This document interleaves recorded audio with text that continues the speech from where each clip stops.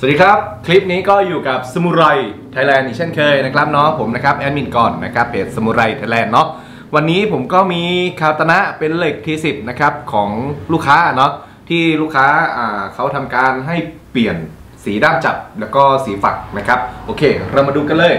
สีเดิมมันจะเป็นสีนี้นะครับเนาะเป็นคาตนะที่10นะครับแบบนี้เลยฝักจะเป็นไม้อ่าสีไม้อ่อนแบบนี้นะครับทรงกลมนะเคลือบเงาแล้วเนาะ เชือกพันฝักก็จะเป็นสีครีมนะครับแบบนี้เลย โอเค ด้ามจับนะ ด้ามจับก็เป็นกระเบนแท้สีดำสองหมุดไม้ไผ่เนาะแล้วก็พันด้วยเชือกสีครีมเหมือนกันอ่าชุดซึบะนะครับชุดซึบะชุด fitting จะเป็นงานสามกษัตริย์เนาะจะเป็นทองเหลืองนะครับ ทองเหลืองเงินแล้วก็ทองแดงนะครับ แบบนี้เลยทรงกลมนะครับสวยสวยงามเลยนะโอเค ใบดาบนะครับ ใบดาบจะเป็นเหล็ก T10นะเหล็ก T10 อ่าฮาร์มอนสกะเห็นปะเห็นลายฮาร์มอนไหมอ่าเป็นเหล็ก T10นะครับ นี่เลยนะ ไม่มีร่องเลือดนะครับ ปลายดาบก็รับคมหักมุมคิสซากินะครับ นี่นะสวยงามเลยนะ เปิดคมร้อยเปอร์เซ็นต์นะครับ อืม สวยงามจริง ๆ ตัวนี้ราคาเท่าไหร่นะจำไม่ได้นะ น่าจะ6,000กว่าบาทนี่แหละ น่าจะประมาณ6,500นะครับเนาะตัวนี้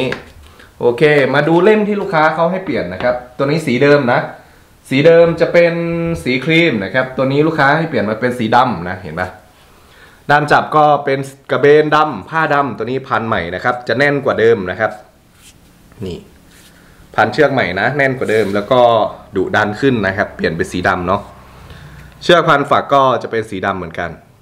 อ่าสวยงามเลยนะครับ ใบดาบตัวนี้ก็เป็นทีสิบเหมือนกันเลย นี่ ตัวนี้ยังไม่ได้เช็ดน้ำมันเนาะของลูกค้า เดี๋ยวผมจะทำการจะส่งให้ลูกค้าพรุ่งนี้เลยนะครับโอเค แล้วก็ทางร้านนะครับ ถ้าซื้อดาบทางร้านเนาะอ่าทางร้านจะบริการเรื่อง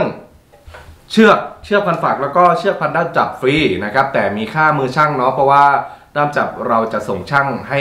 อ่าพันใหม่ เพราะว่าช่างเขาชำนาญในการพันด้ามด้ามจับมากกว่าเรานะครับ โอเค ก็ของแต่งก็จะอยู่ในตู้นี้นะ จะมีทั้งชุดซึบะนะ ทั้งชุดซึบะซึบะแล้วก็ฮาบากินะครับแบบนี้เลยนะ มีทั้งชุดซึบะก็จะมีทั้งอันลอยนะ อันลอยแล้วก็ทองเหลืองพรีเมียมเนี่ยพวกนี้จะเป็นทองเหลืองเกรดพรีเมียมเนาะฮาบากิก็จะเป็นทองเหลืองทั้งหมดเลยนะครับ มีหลายลายมากเลยนะ มีทั้งสีดำสีเงิน ลายรวงผึ้งนะ แล้วก็มีแกะเป็นโลโก้ด้วยอ่า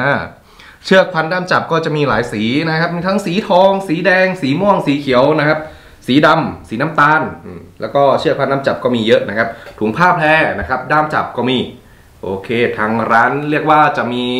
ชิ้นส่วนให้ประกอบเกือบครบวงจรนะ แล้วก็อีกหน่อยนะครับ อีกประมาณเดือนหนึงนะ ทางร้านจะมีใบดาบ เฉพาะใบดาบนะ ใบดาบด้ามจับหนังกระเบนนะหนังตอนนี้หนังกระเบนที่ร้านหมดเนาะกำลังสั่งมาใหม่อ่าก็รอชมกันได้นะ เพราะว่าจะเป็นงานคัสตอมในร้านเลย ให้ลูกค้านะเลือกเลยว่าจะเอาใบดาบแบบนี้